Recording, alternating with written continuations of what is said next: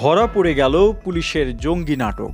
বাংলাদেশে জঙ্গি তৎপরতার অভিযোগ তুলতে পুলিশের সাজানো নাটক ধরা পড়ে গেছে। গত ১৩ অক্টোবর, দিবাগত গভীর রাতে ঢাকার মিরপুরের ছয় নম্বর সেক্টরের মসজিদ গলিতে কাউন্টার টেরোরিজম ইউনিটের একটি গাড়ি এসে থামে। এরপর দেখা যায়, কয়েকজন পুলিশ এই গাড়ি থেকে নেমে রাস্তার এক পাশে কতগুলো ইট সারিবদ্ধ করে সাজায়। এর উপর তারা একটি সিলভার কালারের যন্ত্র বসায়। এটি মূলত একটি বোমা। ছবিগুলো ধারাবাহিক আকারে দেয়া হয়েছে। প্রথম ছবিতে দেখা যাচ্ছে ইটের সারি সাজিয়ে বোমাটি বসানোর জন্য তৈরি করছেন কালো পোশাকে কাউন্টার টেরোরিজম ইউনিটের একজন সদস্য। দ্বিতীয় ছবিতে দেখা যাচ্ছে বোমাটি বসানো হচ্ছে। তৃতীয় ছবিতে দেখা যাচ্ছে ইটের সারির উপর বোমাটি বসানোর পর পজিশন নেওয়া হচ্ছে।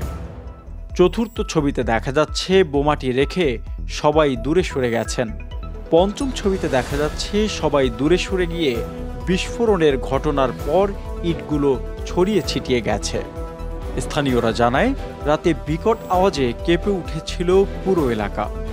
ষষ্ঠ ছবিতে দেখা যাচ্ছে, বিস্ফোরণের পর তারাই আবার ফিরে এসে পরীক্ষা নিরীক্ষা করছেন। সপ্তম ছবিতে দেখা যাচ্ছে, কাউন্টার টেরোরিজম ইউনিট ও পুলিশ সদস্যরা মিলে জায়গাটি দেখছেন। অষ্টম ছবিতে দেখা যাচ্ছে বিস্ফোরণের জায়গাটি পরীক্ষা নিরীক্ষা ও ছবি তুলছেন তারা।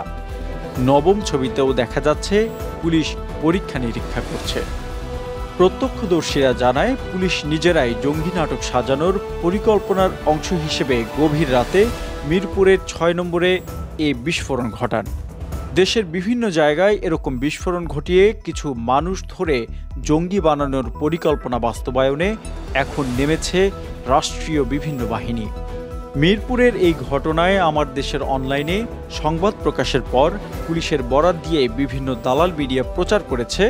গভীর রাতে স্থানীয় একটি ফার্মেসি লক্ষ্য করে ককটেল ছুড়ে মারা হয়েছিল। ট্রিপল নাইনে কল পেয়ে পুলিশ এখানে এসে ককটেল উদ্ধার করেছে। কিন্তু পুলিশের বরাত দিয়ে দালাল মিডিয়ার এই প্রচারণার বাস্তবতার কোনো মিল নেই। ধারাবাহিক যেই ছবিগুলো এখানে দেখানো হয়েছে, সেগুলো কি প্রমাণ করে এখানে বিস্ফোরণের খবর পেয়ে গভীর রাতে পুলিশ এসেছিল? বিস্ফোরণের খবর পেয়ে পুলিশ এসে থাকলে ইটের সারি সাজানোর পাশাপাশি বোমা নিয়ে নাড়াচাড়া এবং বোমাটি ইটের উপর বসিয়ে নিজেরা দূরে সরে গেলেন কেন? কেনই বা বিস্ফোরণের পর আবার ফিরে এসে এগুলো নিয়ে নাড়াচাড়া করলেন। এই প্রশ্নের উত্তর আপনারা নিজেরাই এখন খুঁজে নিতে সক্ষম হয়েছেন এখানে। নাম প্রকাশে অনিচ্ছুক পুলিশের এক সূত্র থেকে জানা গেছে, আন্দোলন যত চাঙ্গা হতে থাকবে, রাষ্ট্রীয় বাহিনীগুলোকে ব্যবহার করে এরকম জঙ্গি নাটকের ঘটনা আরও বাড়বে।